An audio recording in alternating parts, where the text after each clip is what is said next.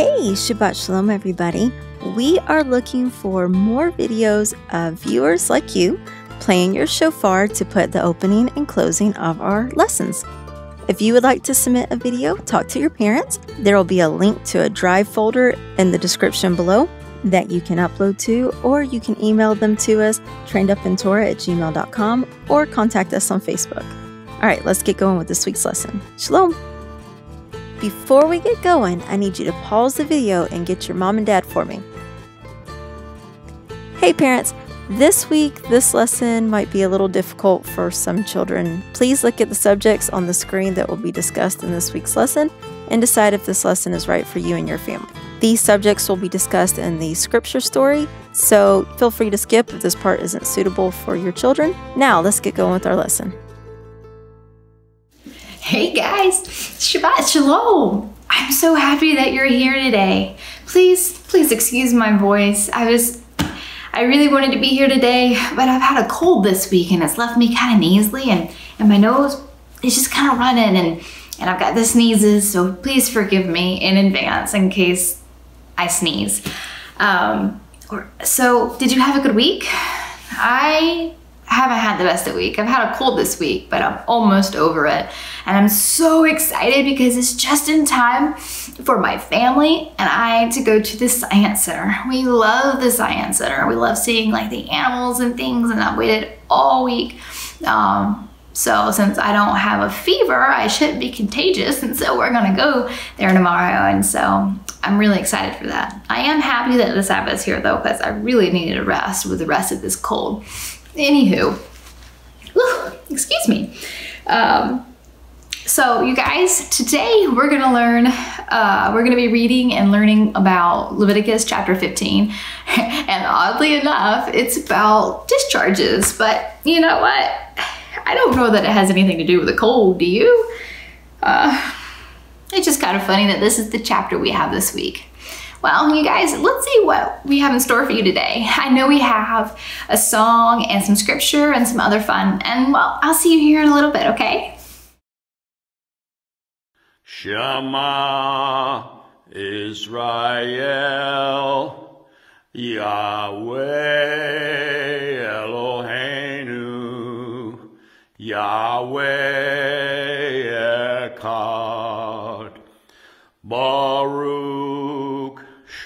Kevod, Malchuto,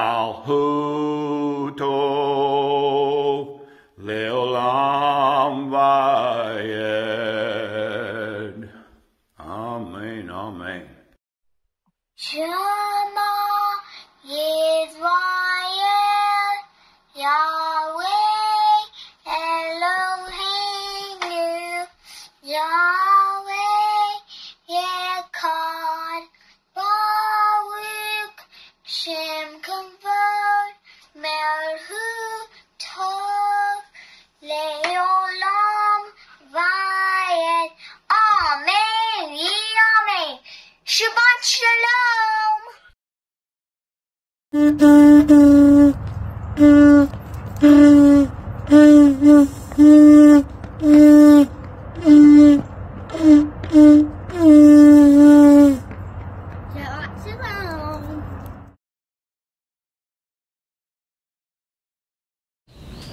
you, Father, for this wonderful day that you have made. We thank you so much for bringing us to another Shabbat and for in Torah and for everyone who is taking part in this and all the children and families who are watching um, all over the world. And we thank you so much for your goodness to us, your mercy, and your faithfulness, uh, for your many, many blessings, and for showing us how to walk in your Torah, for giving us Yeshua who paid the price for our sins so we could be with you forever. And we thank you so much for just everything, for all you are to us. And we love you so much and pray that your presence would be with us in a special way um, this day and every day. We love you so much again, and we thank you. And pray all this in Yeshua's precious name. Amen. Shabbat Shalom. I have a song I'd like to share with you, and the name of this song is Uncleanness.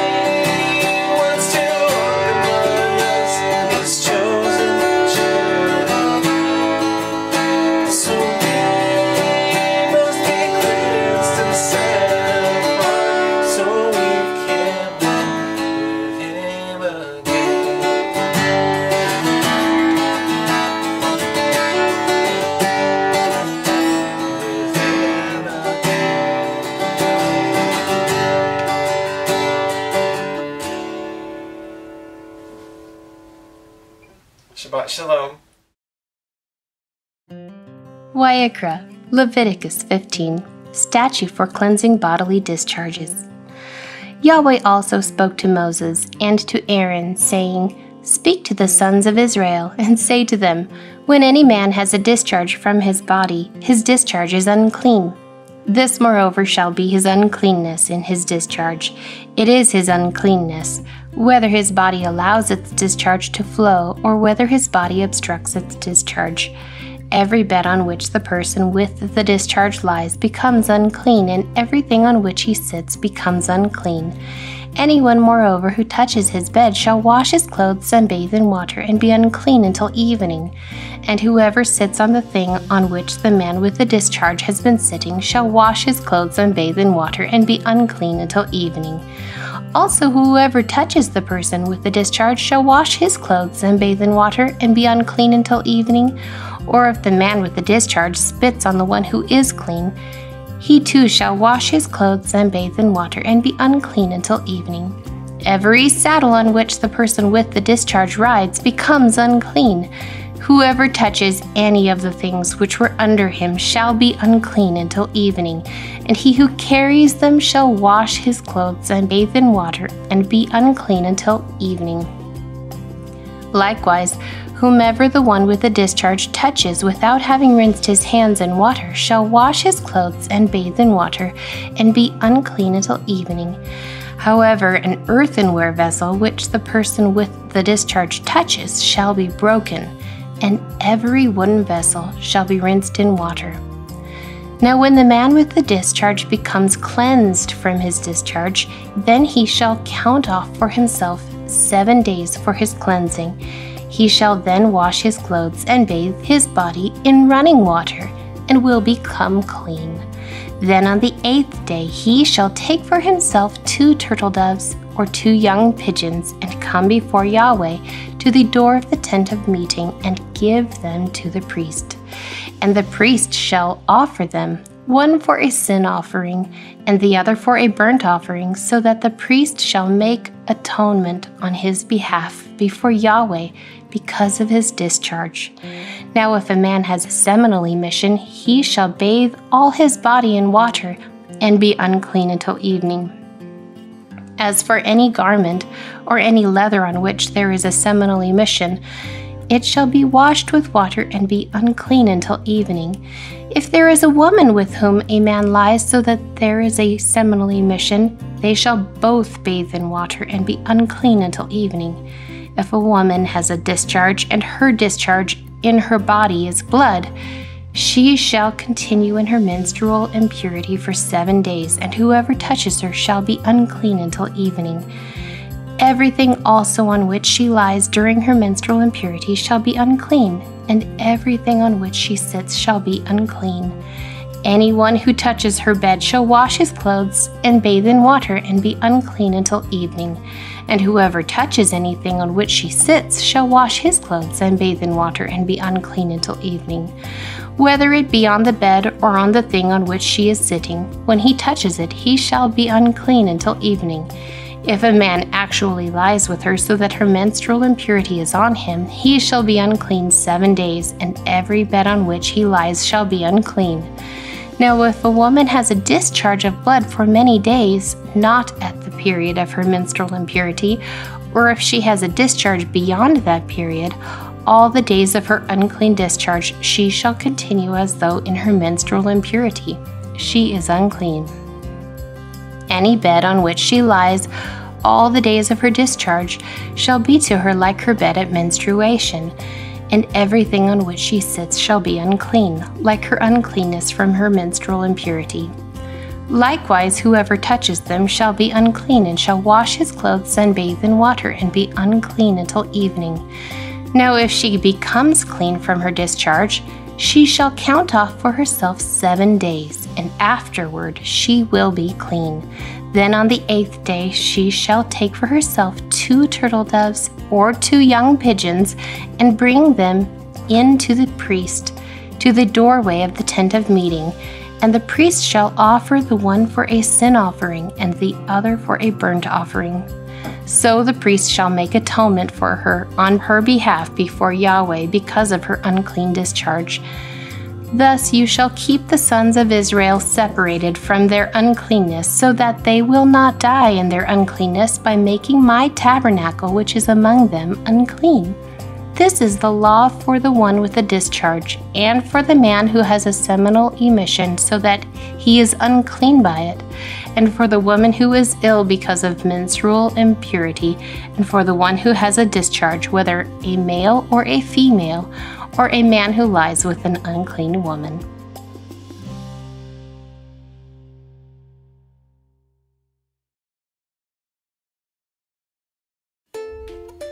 Hey guys, Shabbat Shalom. This is Miss Bethany here. I have a nature lesson for you today.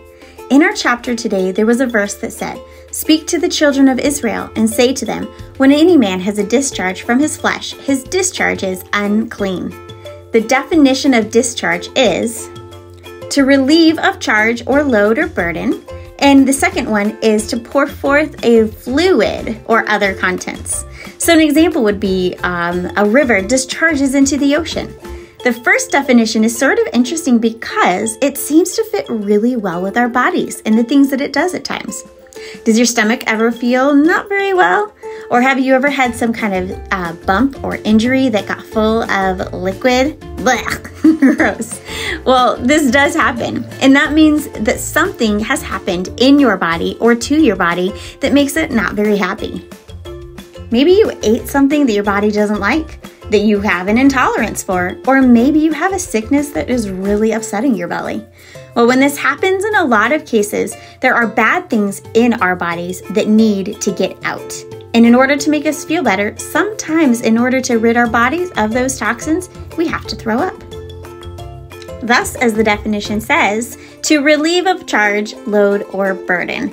Your body is relieving you of the burden that that particular bad thing that got inside of you.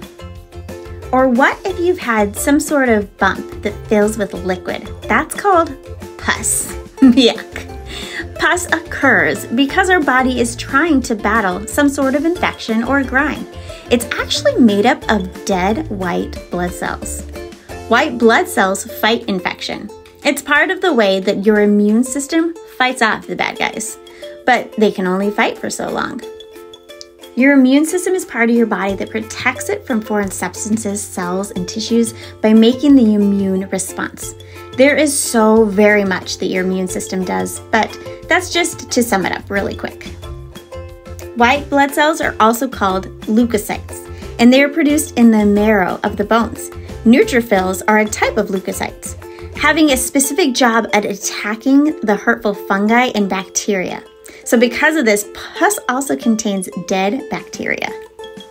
Bacteria means any of a domain of chiefly round, spiral, or rod shaped single celled prokaryotic microorganisms that typically live in soil, water, organic matter, in the bodies of plants and animals that make their own food, especially from sunlight, or are saprophytic or parasitic. So basically, they're super small creatures that sometimes make you sick. They are so small that you can't even see them without a microscope. And fungi means any kingdom of saprophytic or parasitic, spore producing, eukaryotic, typically filamentous organisms formally classified as plants that lack chlorophyll. And this includes mold, rusts, smuts, mushrooms, and yeast, which to really narrow it down, they are all sort of the same as far as they are really small and sometimes sickness causing things that get into you. That being said, there are some good fungi and good bacteria as well. But with that, let's get back to our white blood cells. So, macrophages. These are another kind of white blood cells. It detects foreign substances and releases an alarm in small cell signaling protein molecules called cytokines. Cytokines tell the neutrophils, and those neutrophils slip from the bloodstream into the area being attacked. The rapid buildup of neutrophils eventually leads to the existence of pus. So, what exactly are white blood cells? Well, your blood is made up of red blood cells and white blood cells, platelets, and plasma. Your white blood cells make up only 1% of your blood, but their impact is so large. They keep you safe from illnesses and disease. In a sense, they're always at war. They go through your bloodstream to fight. When your body is in distress and a particular area is undergoing an attack, your white blood cells rush in to help destroy the substances causing you harm and to prevent sickness. White blood cells are stored in your blood and lymph tissues. Some white blood cells called neutrophils have a really short life. Actually, it's less than a day. So your bone marrow is always making more. There are several different types of white blood cells too. Firstly, monocytes. These have a longer lifetime than most white blood cells, and they help break down bacteria. Then we have lymphocytes. They create antibodies to fight bacteria, viruses, and other invaders that could be harmful. Then neutrophils. These kill and process bacteria and fungi. There are a greater amount of them than any other white blood cells, and they are your first line of defense when it comes to infection. These are the kind that live less than a day. Now we have basophils. These small cells create an alarm when infectious agents invade your blood. They thrust out chemicals such as histamine, which is a marker of an allergic disease. That helps to control your body's immune response. And lastly, for today, eosinophils. These attack and kill parasites in cancer cells, and they also help with allergic responses. Well, that was a good bit to take in. So let's lean off of this scientific information for now. So, when our bodies complain at us, it's because something's going on. Something isn't right. So we should listen to them because Yahweh made them to know far better on the inside than we do in our heads. So when we need to throw up or have a dead white blood cell filled infection, that sounds a little bit nicer than pus, right? Um, or even a runny nose, that's because we have a cold. And all these things mean that something isn't quite right. That maybe we're sick or maybe our body is fighting something. So, all of these things are what makes us unclean, which makes sense because none of them are good things. Scripture says that if anyone touches you when you have these things, then they are unclean. Maybe because your body is trying to get rid of the bad, and so now it's on them. Just like if you have a cold and you sneeze on someone, that spreads the germs that are inside of you all throughout the air, and that will settle in different surfaces around you, waiting to attack someone else when they touch you or they touch something that you've come in contact with. Okay, so today's nature lesson wasn't exactly um, elegant to listen to, but I do hope that it was useful for you and that you did learn something. I know I did. So I hope everybody has a wonderful Sabbath and Shabbat Shalom. Well, you guys, what did you learn from the chapter today? You may have thought, some of that doesn't really apply to me. I'm still pretty young. I don't understand what this chapter means. And, well, there's a lot to be said in that chapter. If you have any questions, I'm sure your parents would love to answer some of those for you guys. Um, you know what kind of stuck out to me though? It made me think of uh, it made me think of a science experiment when I was in school. So Leviticus 15, Leviticus 15, uh, verse. Where did it go? Ah, verse 8 this kind of stuck out to me. So it says that, and when he who has the discharge spits on him who is clean, spits. The rest of the uh, the rest of the discharges and stuff talk about, you know, other bodily fluids and stuff like that. But I'd never really considered spit. You know, it's really gross to spit on somebody. Surely, surely that that doesn't mean someone spitting on you, like, you know, purposefully. Uh, that seems really, really wrong. Um, but looking deeper, I was sitting here thinking, and it really it jogged my memory and made me think when I was in seventh grade at school, we were in the science class, and, and the teacher did an experiment. And she took this, um, she took an aerosol can of of air freshener, which was terrible because I'm super sensitive to smells and I was sitting right where she was. But the point of the experiment was there was about 25 to 30 of us in the class and we were spread out in this huge room. And she stands by the door and she says, okay, we're going to show how things, particles, um, smells, but also just, you know, particles that are too small to see, they travel through the air. Um, and so she stood by the door and she said that once you smell the air freshener, raise your hand. So she sprays a good long spray for about three seconds or so.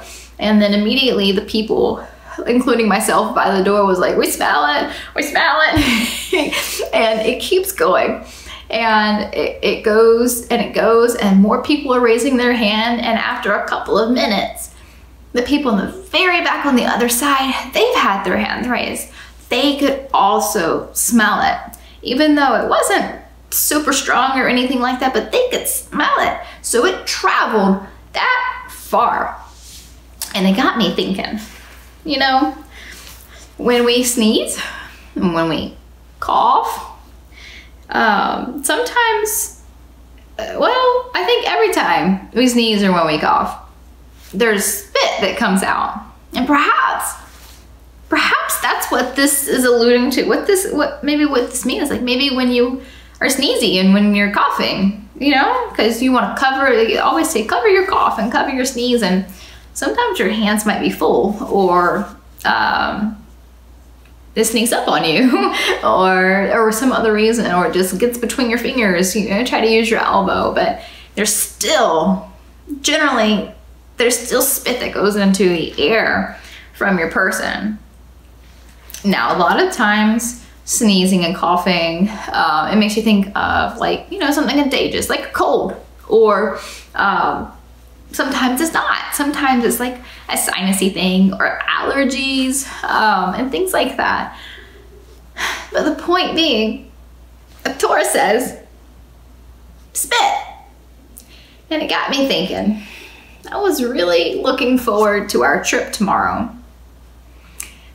But I'm still pretty sneezy and pretty coughy. I'm coughing a lot. And I don't think I don't think that it would be right for me to go. I don't think that it would be fair for me to go because even if I cover my mouth when I sneeze and when I cough, there's still particles in the air that are floating to other people that can't be seen and they can't avoid it. They can't get away from it. So I'm going to have to really think on it. Would that be the right thing to do? I'm not contagious. I'll cover my mouth. I really want to go. Well, we've got we've got some more parts of our Sabbath school. Maybe it can clear some of this up. I don't know. I'm going to think of it some more. Uh, right now we've got uh, some history and Hebrew and a nature lesson. And well, you guys, I'll be back here when you get back.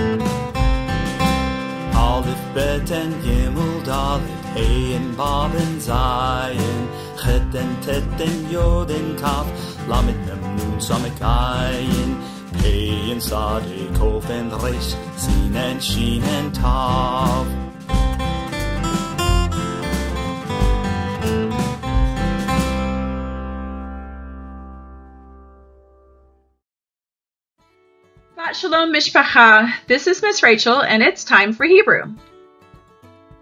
So, this time for Hebrew, we're going to do things a little bit differently. We are beginning a new year, and, um, and so I thought it would be pretty cool to go over some of the different names for the Hebrew days of the week and also for what year is and what day is.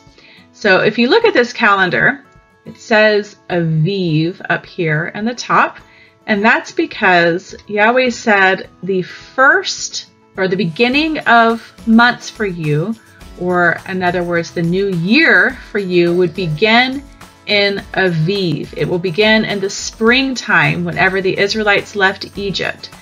And so um, we have the name of the month here as Aviv. And each month has several weeks in it, usually around four weeks. And so this is a week. And how many days do we have in a week? Yes, we have seven days in a week. That's right. And so we're going to learn the different names for the days of the week. We have the first day of the week, which is Yom Rishon. We have the second day of the week, which is Yom Sheni. We have the third day of the week, which is Yom Shlishi. We have the fourth day of the week, which is Yom Revi'i. The fifth day, Yom Hamashi. The sixth day, which is Yom Shishi, and then Shabbat. And we're going to go over all of those a little bit slower so that everybody will be on the same page. Okay, so the name for year, or the word for year in Hebrew is Shana. Can you guys say that? Shana. And that means year in Hebrew. The word for week in Hebrew is Shavua. Shavua. And Shavua is based on the word seven in Hebrew. Can you guys guess why Shavua might be based on the word seven?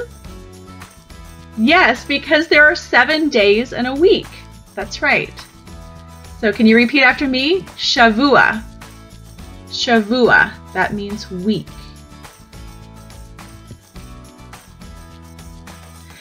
And then each week, as we said, has seven days.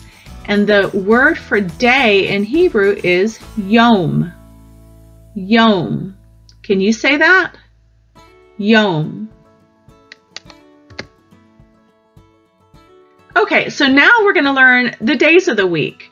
So the first day of the week is Yom Rishon. Yom Rishon, and it literally means first day. Yom Rishon. The second day of the week is Yom Sheni. Yom Sheni. Can you say that? Yom Sheni. And that means second day.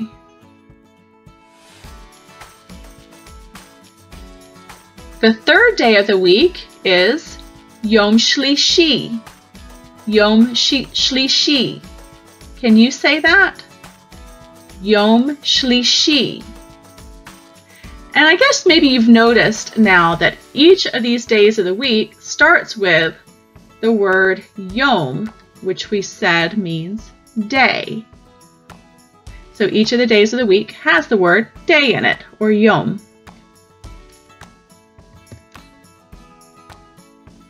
The fourth day of the week is Yom Revi'i. Yom Revi'i. Can you repeat that?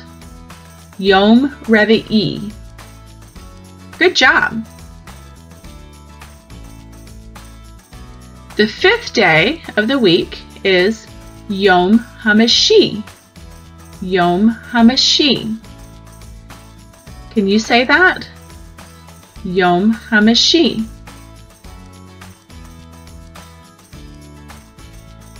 Okay, and the sixth day of the week is Yom Shishi. Yom Shishi. Can you say that? Yom Shishi. Okay, the last day of the week is, you guys tell me, what's the seventh day of the week called? That's right, Shabbat. And we just call that Yom Shabbat. So that's an easy one. Um, I do want to point out one more thing while we're talking about the days of the week.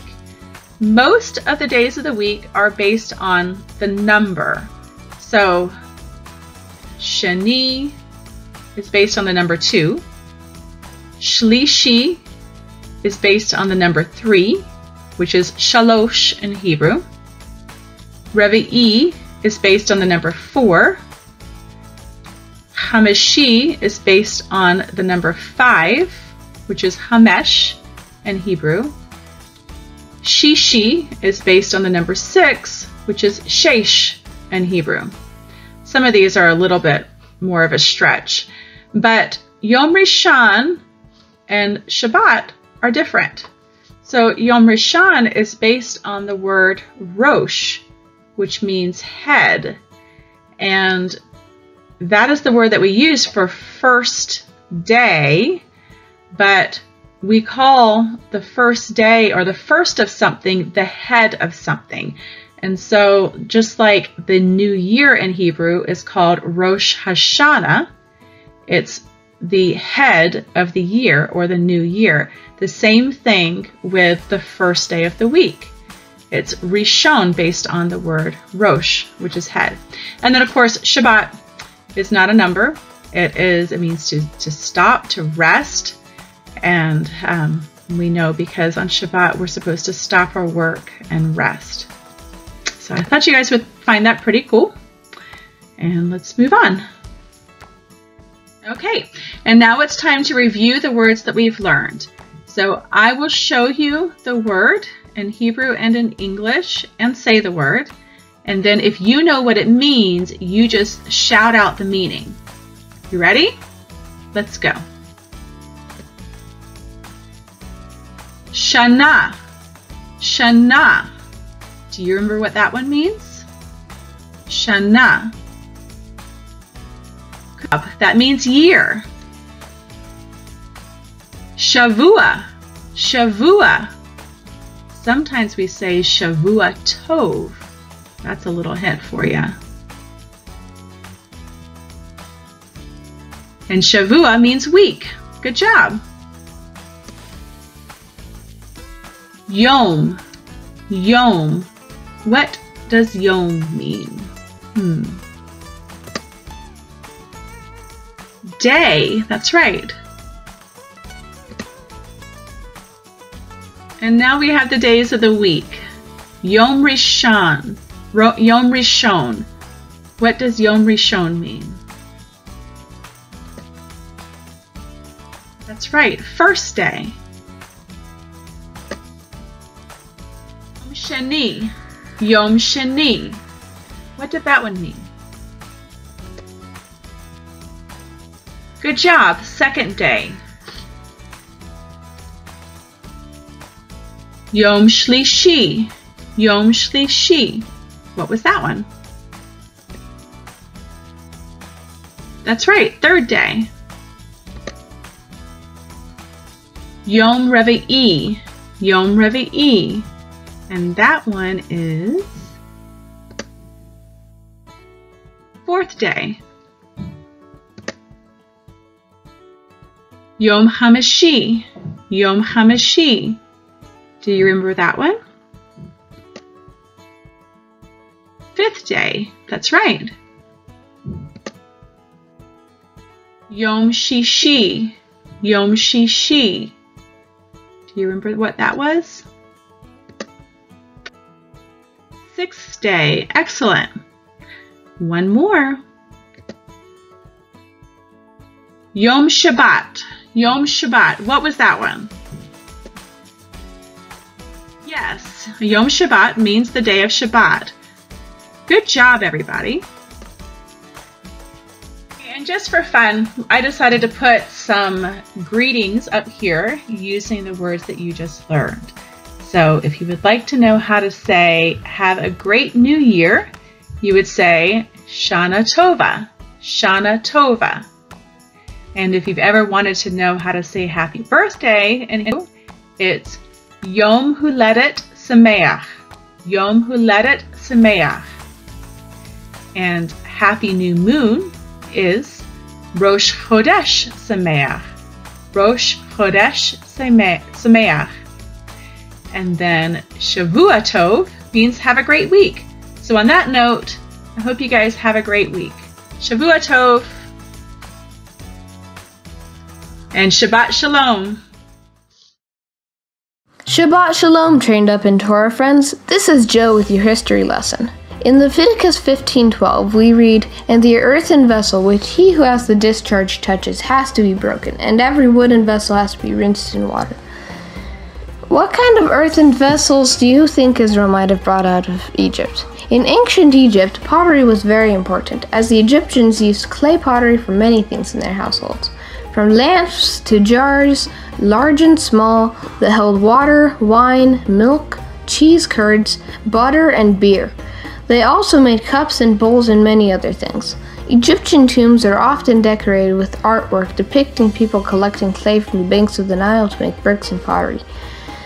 The clay used in ancient Egyptian pottery is found in three locations along the bank of the Nile River.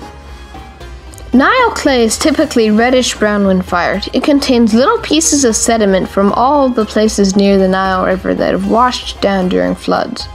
It contains high amounts of silicon and iron oxide that give it such a warm reddish brown tone. Marl clay is much lighter in color than regular Nile clay. It contains a lot of slate and limestone and is higher in calcium than the darker red clay. It is found between Esna and Cairo, Egypt. Cairo is near the pyramids of Giza. Marl clay becomes creamy in color when it is fired in an oxygen-rich oven.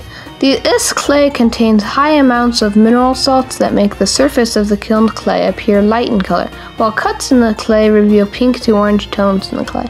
When fired at high temperatures of nearly 2000 degrees Fahrenheit, the mineral salts on the surface can become greenish. Qena clay is a kind of marl clay that comes from the sediment from the Wadi Qena that is mixed with the limestone and slate. One of the coolest kinds of ancient Egyptian pottery is called a kula. It is a porous clay pot that is coated in marl clay. That allows water to seep through tiny holes onto the exterior surface where the water then evaporates and cools the air. It's an air conditioner. Some still use kulas today. They work best in places with dry air. To increase the cooling, people wrap the pot in a wicking fabric and put it in a place where a breeze can blow over it. The Egyptian kula, also called a zir pot, became the inspiration for our modern air conditioner. In the United States, patents from 1945 for air cooling units used the same basic design. Egyptians used a thin layer of darker Nile clay to seal their pots so they could hold wine and other liquids. The ancient Egyptians also had a version of a food cooler, or dessert refrigerator, that used both kinds of pots, using a largest porous pot to hold water and a smaller sealed pot inside that held things like butter or fruit in the middle. They covered it with a wet wicking cloth and put it in the shade where there was a breeze, or else slaves would fan it with large dried palm fronds. You might be surprised to learn that these nesting pot coolers can even make ice if the conditions are just right.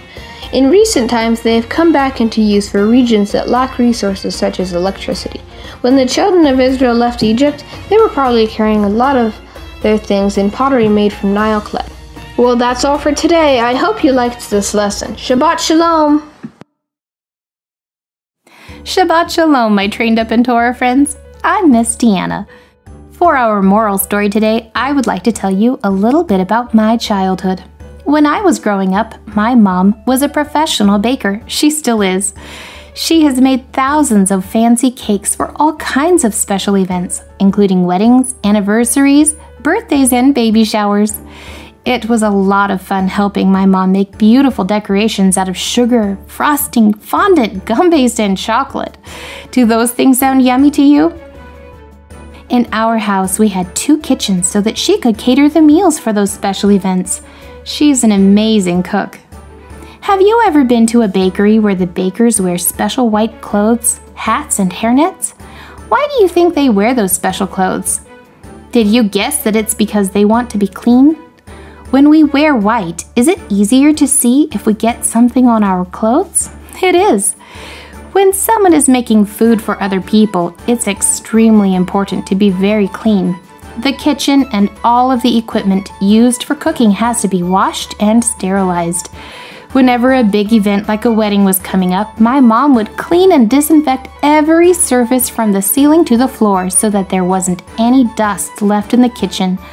A tiny piece of clothing lint could ruin a sugary creation that she had spent hours on.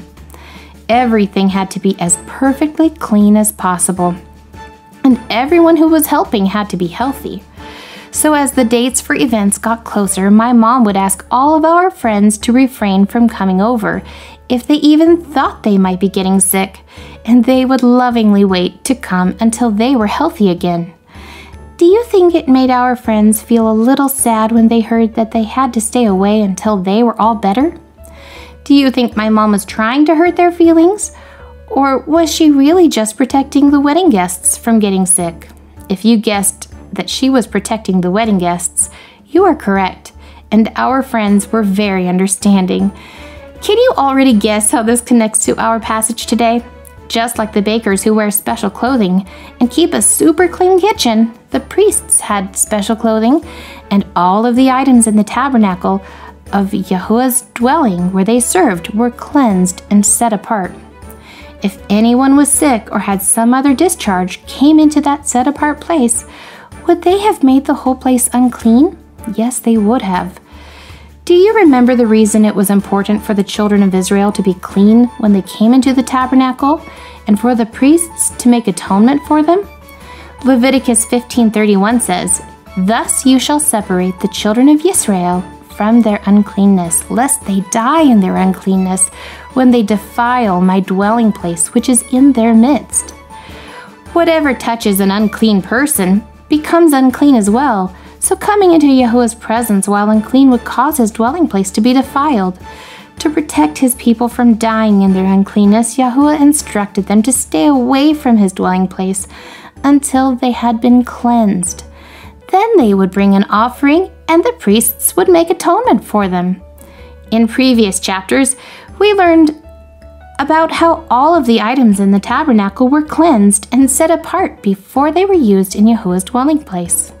It was very important to obey all of Yah's instructions in these matters because He is holy and set apart. Nothing that is unclean or sinful can be in His presence.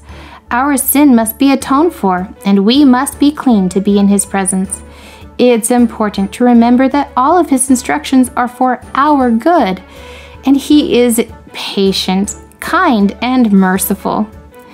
In Scripture, the word unclean is used many different ways and we have to think about the words around it when we want to understand how it is being used. Our sin is called uncleanness, but not all uncleanness is a sin. In today's chapter, we read about people who were unclean because they got something yucky on them. A few weeks ago, we learned about animals that are unclean to eat. These are different. And being unclean because you got dirty is not a sin but it is something that you need to be cleansed of before going to the tabernacle. However, if someone approached the dwelling place in their uncleanness, that would be a sin because it would be disobedience. It's the disobedience that is a sin, not getting something yucky on you to begin with. All of the things that were set apart for use before Yah were to be respected and kept holy and undefiled. By giving them instructions to protect them, Yahuwah was showing his love for his people. By obeying Yahuwah, the Israelites were showing their love for him. Today, we cannot go to the tabernacle to give our offerings, but we still follow all of Yah's instructions and commandments that apply to us. Today, Yahusha, or Yeshua, he is our high priest, and he atones for our sin. He gets to sit at the Father's right hand in heaven above. Just like the Israelites in the desert, we can show our love and respect for Yahuwah and his Son, whom he sent to be our Messiah and to take our sins away. We can show this by our obedience. Yahusha said in John 14:21, "He who possesses my commandments and guards them, it is he who loves me, and he who loves me shall be loved by my Father, and I shall love him and manifest myself to him." That's all for today, kids. Always remember that Yahuwah loves you and all of his ways are love. Shabbat Shalom. Oh, hey guys. Have you guys been enjoying Sabbath school so far? I really hope so. Well, I did think about it. As much as I don't want to disappoint my family, I'm gonna have to sit out the science center tomorrow. I don't feel right going and knowing that I'm sneezing and it's not really preventable at this point. I think that I'll rest today and if I'm still sneezing in the morning or if I'm still froggy in my throat and coughing, then I think I'm just gonna have to stay home tomorrow and go another time. I think that's what Yahweh would want me to do. Well, you guys, there was a lot to unpack in this chapter. I hope you got something out of it today. Um, that even if the other fluids and discharges don't apply to you at this time, if you've never, if you haven't started your period or anything else that it touched on, um, that you can at least think about, like when you have a cold um, and you have snot. and when you're coughing and just your spit, maybe maybe we could all be more mindful that when we go out um, or when we're not feeling our best, or even when we feel fine and we're just kind of sneezy and our noses are itching, and you know, you just kind of have those days sometimes because there are people who their immune systems don't work as well. They don't. Um, I have friends like that, I have family like that, and they're more susceptible to cold. So even though you may not think that you are contagious because um, you don't have a fever, uh, it, it's better, I think, to stay home and just to to be protective and be mindful of other people too, um, because it's not good when some of these people catch colds. They do their best to not catch colds, but if you are knowingly sneezing and and and passing those particles into their air that you're sharing with them, um, and it can be avoided. I think it's best to do that, right? So you guys stay home when you're not feeling well, because I'm staying home tomorrow too. Oh goodness, you guys, that's all for me today. I'm gonna go rest and lay down, but don't go anywhere. We have some more fun for you. Uh, we have another song and uh, I think a craft and a snack and some other goodies. So you guys, I hope you enjoy the rest of your Sabbath. If you're sick also, I hope that you feel better. And um, I hope that you have a blessed week ahead of you. Shalom! Wash with water, be till evening. Wash with water,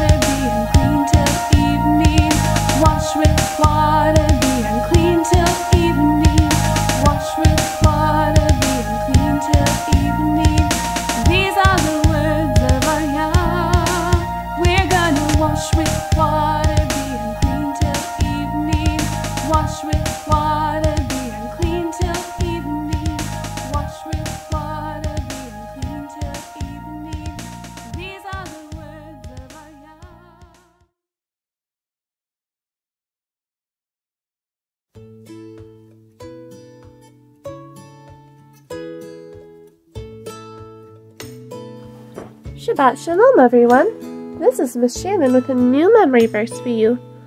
This week we have 2 Corinthians 7 1. Let's take a look at it right now. Having therefore these promises, dearly beloved, let us cleanse ourselves from all filthiness of the flesh and spirit, perfecting holiness in the fear of Elohim. 2 Corinthians 7 1. Wonderful. Now that we've looked over that, let's begin practicing memorization. Remember to pause the video if you need more time to fill in the blanks.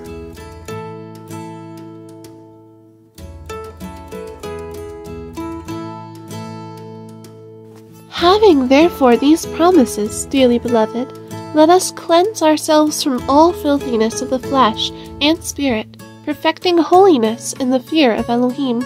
2 Corinthians 7 1. Wonderful! Now let's try again. Pause the video again if you need more time.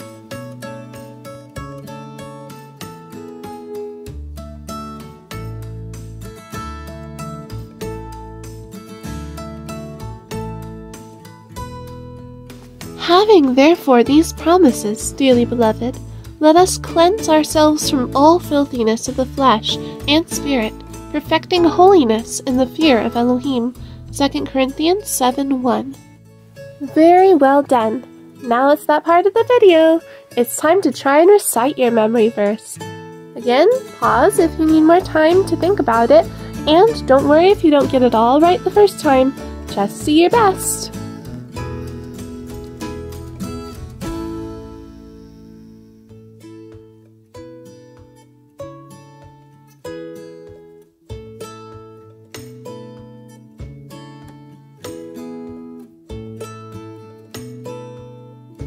Having therefore these promises, dearly beloved, let us cleanse ourselves from all filthiness of the flesh and spirit, perfecting holiness in the fear of Elohim. 2 Corinthians 7 1. Woohoo! Congratulations on a job well done! Now it's time for us to discuss our memory verse. The topic of our chapter today, and of much of Leviticus, has a lot to do with cleanness and uncleanness. We often feel that the ceremonial laws, as they're called by some, are mostly confined to Leviticus and not talked about very much in other places in the Bible, especially in the New Testament. However, we actually do see uncleanness being listed with several other vices in the New Testament. Could this uncleanness be referring to when you get dirty playing outside?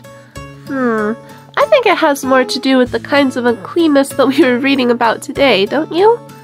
The Bible really is one big book with the same author. Today's verse actually sums up a lot of what the Bible tells us to do to be clean and holy on the inside and the outside. Alright, with that, here's your memory verse for this week. Remember to keep practicing it as much as you need. Have an especially wonderful and blessed week, and Shabbat Shalom! Shabbat Shalom. We are making slime for today's craft. So you're going to need contact solution, Elmer's glue, baking soda, and food coloring if you choose to color yours. So grab all of those materials and let's get started. You are going to empty your bottle of glue into a bowl.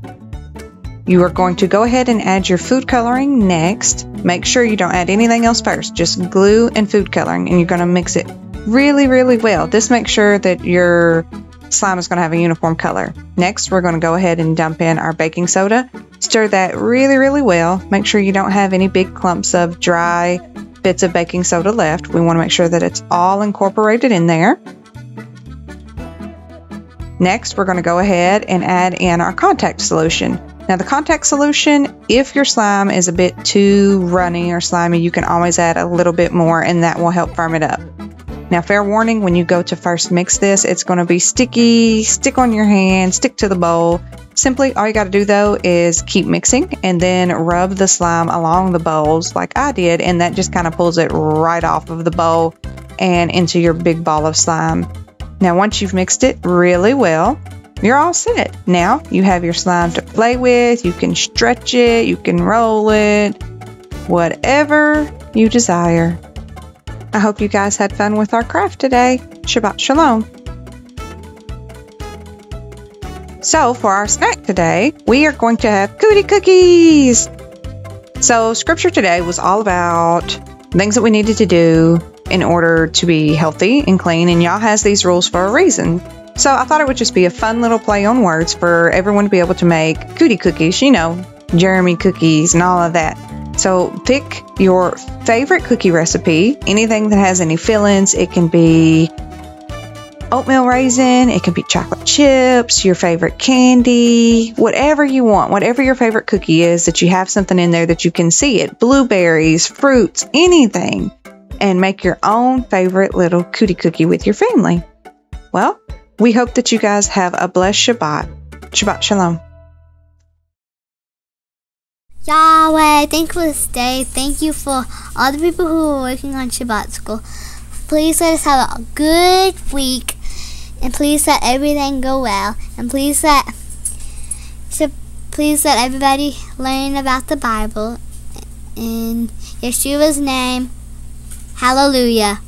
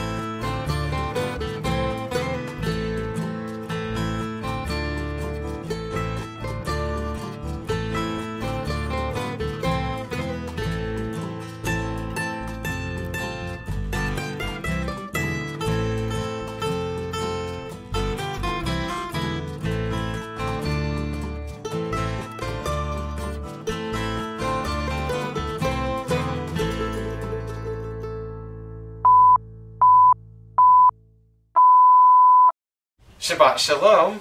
I have a song I'd like to share with you, and it's called. I haven't named it yet. Okay. okay.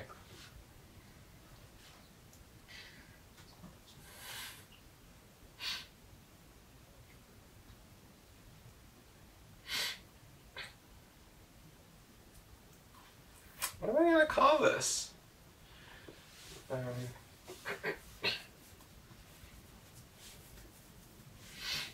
okay.